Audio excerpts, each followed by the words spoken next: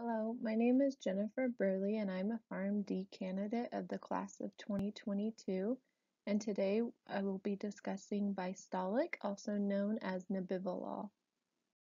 I will begin by going over a brief overview of Bystolic.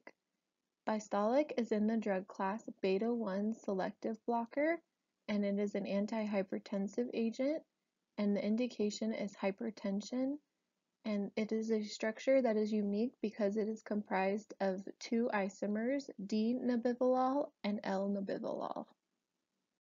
As I mentioned previously, Bystolic, also known as nebivolol, is made of two isomers, D-nebivolol and L-nebivolol. D-nebivolol is responsible for blocking the beta-1 receptor and produces antihypertensive effects.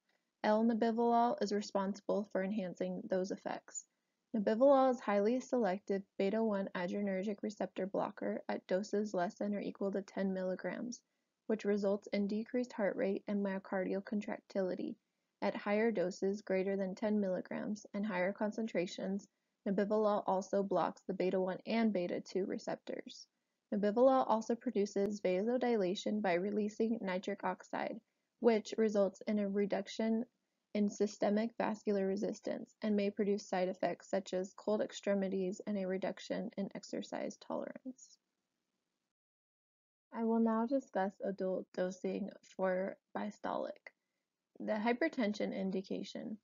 5 milligrams of oral tablet will be initially given once daily, and then the titrate the dose as needed at two-week intervals based on patient response and tolerability up to a maximum of 40 milligrams once daily. Formulation and dosing adjustments for Bystolic. The formulation for brand name Bystolic comes in oral tablets and it's available in 2.5, 5, 10, and 20 milligrams. The generic is not available in the US. Dosing adjustments. For renal dose adjustments, if the patient has a creatinine clearance of greater than or equal to 30 mL per minute, then no dose adjustment is required. But if the patient has a creatinine clearance of less than 30 mL per minute, then initially 2.5 mg oral tablet of Bystolic should be given once daily. And then if the initial response is inadequate, they may increase the dose, but with caution. For the hepatic dose adjustment, for mild impairment, no dose adjustment is required. For moderate impairment, such as Child-Pugh class B, initially 2.5 milligrams oral tablet Bystolic once daily should be given, and then if the initial response is inadequate, then they may increase the dose, but advise with caution. For severe impairment, such as Child-Pugh class C, it is contraindicated to use Bystolic. Adverse effects of Bystolic include headache, fatigue, dizziness, diarrhea, nausea, trouble sleeping, chest pain, slow heartbeat, difficulty breathing, rash, and peripheral edema. Warnings, precautions, and contraindications for Bystolic. Warnings and precautions. Do not use Bystolic with other beta blockers.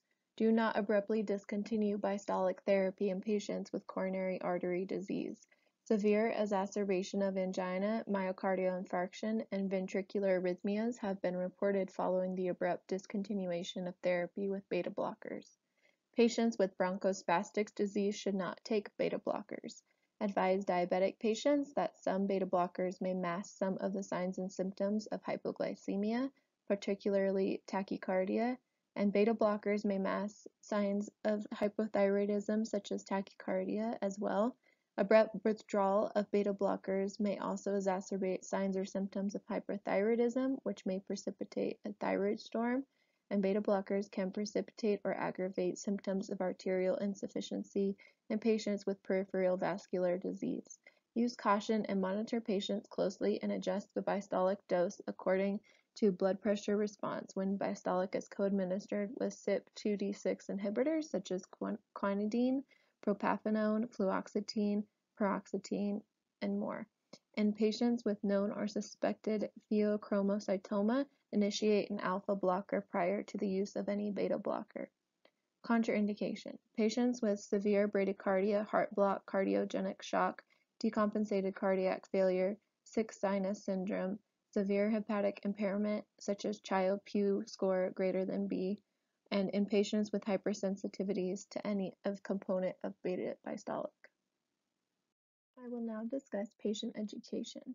Bystolic can be taken with or without food. If you miss a dose, take your dose as soon as you remember, unless it is close to your regularly scheduled dose. Then skip that dose, but do not take two doses at the same time.